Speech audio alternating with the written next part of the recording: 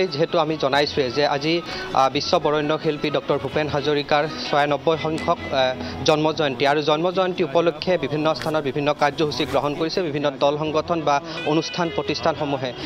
ঠিক একেদৰে গুৱাহাটীৰ জালুকবাৰীস্থিত যি ভূপেন হাজৰিকাৰ সমাধি ক্ষেত্ৰ আছে সেই সমাধি ক্ষেত্ৰতো ৰাজ্য চৰকাৰে কেন্দ্ৰীয়ভাৱে এক অনুষ্ঠান আয়োজন কৰিছে। ডেৰ বজাৰ লগে লগে সেই অনুষ্ঠান আৰম্ভ হ'ব।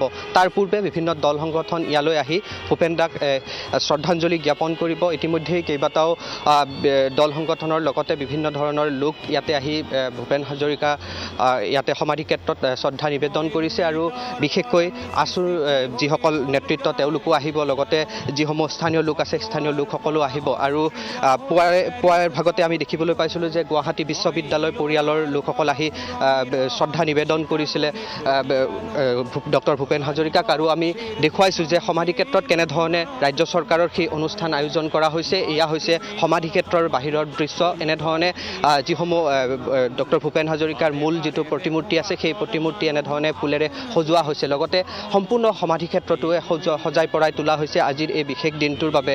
তাৰ উপৰিও সাংস্কৃতিক পৰিক্ৰমা বিভাগৰ তৰফৰ পৰা যিহেতু আনুষ্ঠানিক অনুষ্ঠান ডেৰ বজাৰ লগে লগে আৰম্ভ হ'ব আৰু তাত মুখ্যমন্ত্ৰী ডক্টৰ হিমন্ত বিশ্ব শৰ্মাই অংশগ্ৰহণ কৰিব আৰু তাৰ পূৰ্বে বিভিন্ন লোকসকল আহি ইয়াতে ডক্টৰ ভূপেন হাজৰিকাক সেই শ্ৰদ্ধাঞ্জলি জ্ঞাপন কৰিব আৰু পুৱাৰ ভাগতে আমি দেখিবলৈ পাইছিলোঁ যে গুৱাহাটী বিশ্ববিদ্যালয়ৰ যিসকল ছাত্ৰ স্নাতকোত্তৰ ছাত্ৰ সন্থাৰ লগতে গুৱাহাটী বিশ্ববিদ্যালয়ৰ কৰ্তৃপক্ষই আহি তেওঁলোকে শ্ৰদ্ধাঞ্জলি জ্ঞাপন কৰিছিলে আৰু তেওঁলোকৰ লগত কথা পতাৰ চেষ্টা কৰিম। যিহেতু স্নাতকোত্তৰ ছাত্ৰ সন্থাৰ লগতে গুৱাহাটী বিশ্ববিদ্যালয়ৰ কেইবাগৰাকীও ছাত্ৰ ইয়াতে আছে তেওঁলোকে শ্ৰদ্ধাঞ্জলি জ্ঞাপন কৰিছিল পুৱাই ইয়াতে উপস্থিত হয় মই স্নাতকোত্তৰ ছাত্ৰ সন্থাৰ সভাপতিগৰাকীৰ কাষলৈ আহিছোঁ। পোনপ্ৰথমে মই আপোনাৰ কাষলৈ আহিছোঁ। যিহেতু আজি ছয়ানব্বৈ সংখ্যক বিশ্ববৰণ্য শিল্পীগৰাকীৰ জন্ম জয়ন্তী আৰু আপোনালোকেও আহিছে শ্ৰদ্ধা জ্ঞাপন কৰিছে।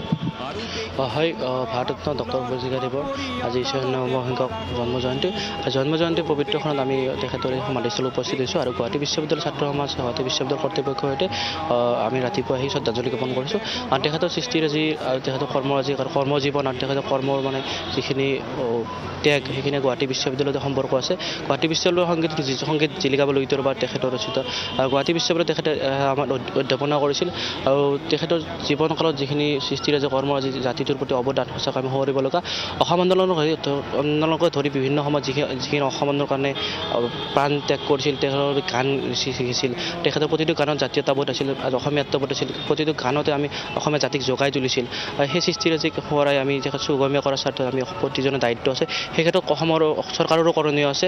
এটা দিনে বিশেষভাৱে পালন কৰিলে নহয়। তেখেতৰ নামত প্ৰতিটো দিন প্ৰতিটো ফল উৎসৰ্গিত হ'ব লাগে। তেখেত সৃষ্টিৰাজিক যুগমীয়া কৰাৰ কাৰণে দায়িত্ব আছে চৰকাৰৰ। আমি অনুৰোধ জনাইছোঁ চৰকাৰে সেইখিনি দায়িত্ব পালন কৰক। মই আপোনাৰ কাষলৈ আহিছোঁ। যিহেতু এই কেৱল জন্ম আৰু মৃত্যু তিথি পাতিলেই নহ'ব। সমাধি ক্ষেত্ৰৰ যিসমূহ সামগ্ৰিক উন্নয়ন বা আন্তঃগাঁথনিৰ যিসমূহ ব্যৱস্থা ল'ব লাগে সেইসমূহ ল'ব লাগিব। সেই ক্ষেত্ৰত আমি দেখিছোঁ বাহিৰৰ যিটো চৌপাশ বাহিৰৰ যিটো পৰিৱেশ তাত যথেষ্ট আচলতে আৱৰ্জনাময় হৈ পৰিছে চাফাও নকৰে তেনেধৰণৰ পৰিৱেশো দেখিবলৈ পোৱা নাযায়। কিন্তু জন্মতিথি বা মৃত্যুতিথি আহিলে তেনেধৰণৰ এক পৰিৱেশ তেওঁ চৰকাৰৰ ফালৰ পৰা গ্ৰহণ কৰা হয়। কি ক'ব আজিৰ এই বিশেষ দিনটো চাওক কেৱল জন্ম জয়ন্তী আৰু মৃত্যু তিথিটোতে তেওঁক সামৰি থ'লে নহ'ব। বিশ্ববৰেণ্য শিল্পী জাতীয়তাবোধ ফুটি উঠাৰ লগতে তেওঁ বিশ্বমানৱৰ কথাও তেওঁৰ গীতত ফুটি উঠিছিল। তেওঁ কেৱল অসমৰে জাতীয় সম্পদ সেইটো নহয় তেওঁ বিশ্বমানৱ। গতিকে বিশ্বখনে তেওঁক চায় আমি বিশ্ববিদ্যালয়ৰ ছাত্ৰ ছাত্ৰীসকল ইয়ালৈ নিতৌ আহোঁ। আমি সন্ধিয়া হওক সন্ধিয়া কি সুন্দৰ পৰিৱেশ এটা হৈ থাকে গান বাজি থাকে ভূপেন হাজৰিকাদেৱৰ আমি কোনোবাই একোণত বহি পেলাই আমি গীতসমূহ উপভোগ কৰোঁ। কিন্তু যেতিয়া সোমাই আহোঁ তেতিয়া এই চাৰিওকাষটো দেখিলে আমাৰ অলপ দুখ লাগে। এইটো তেওঁলোকে অলপ চাফা চিকুণ কৰাৰ ব্যৱস্থা কৰিব লাগে। আৰু লগতে ভূপেন হাজৰিকাক কেৱল তেওঁৰ গীতকেইটা শুনি থাকিয়ে তেওঁক আমি জীয়াই ৰাখিব নোৱাৰোঁ।